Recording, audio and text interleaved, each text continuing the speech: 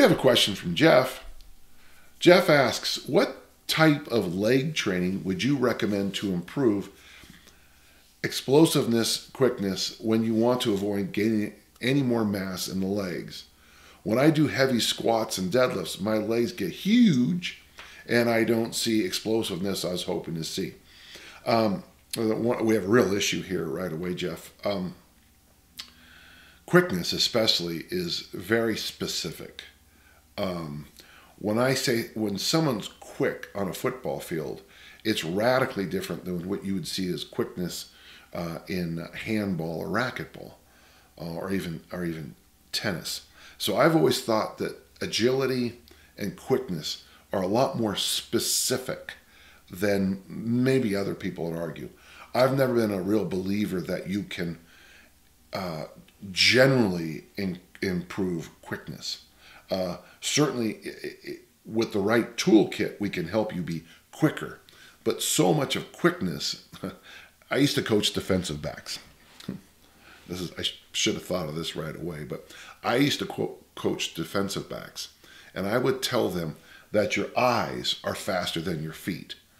So when they break the huddle, if you're looking and in a very very wide vision, if you're looking for clues uh, when they break, and you're and you're paying attention.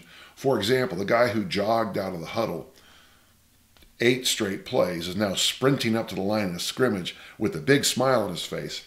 To me, that's a clue that it might be going to him. So, and as they line up, and you, uh, uh we we number uh, uh, offensive receivers as one, one is the widest, two, and then three, and we have a phrase: one can hurt you, two can kill you. So use your eyes. If one goes inside, use your eyes to pick up two. Why am I saying this? Because it'll look like I'm quickly reacting with my feet and I'm not making any false steps, but I'm using my eyes for quickness. Uh, I have some equipment here at the home.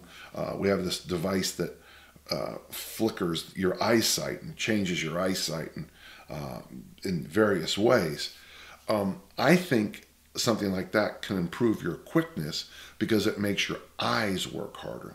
I take that lacrosse ball and I stick it under the neck like this, and I and I force you to have the startle reflex.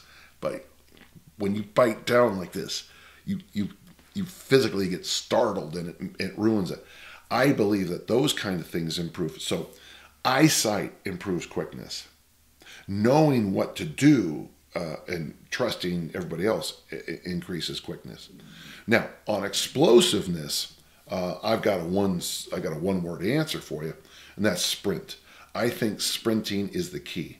Uh, if you can get yourself to a high school track or college track, and you know, I would even pay the coach uh, if they can set up a speed trap for you. So you come into the speed trap at top speed, and maybe they measure you for 10 meters or 20 meters and you just try to improve your time over a couple of weeks, that's going to really be what explosiveness is.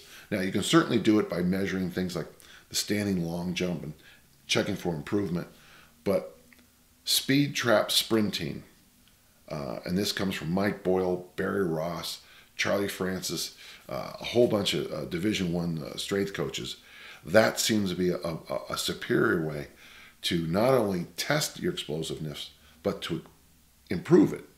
Because if you're running 20 meters in three, three seconds, uh, actually, which is terrible, uh, as you slide down from 3 to 2.9 to 2.8, all your other explosiveness qualities are going to be improving too. Um, interesting question. Thank you.